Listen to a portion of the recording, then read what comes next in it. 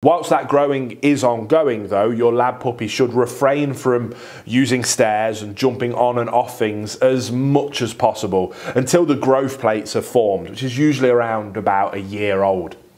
Adult Labradors who are not yet seniors are typically happiest when they can have about two hours of exercise through a combination of sniffing walks, off lead running, and ideally, given their inherent desire to chase and retrieve, games of fetch with balls or frisbees. Any obedience training, which is a brain and body exercise, is supplemental to this, and the extent to which you develop obedience skills depends on your own standards standards and also on the amount of drive your Labrador has come to exhibit in adulthood.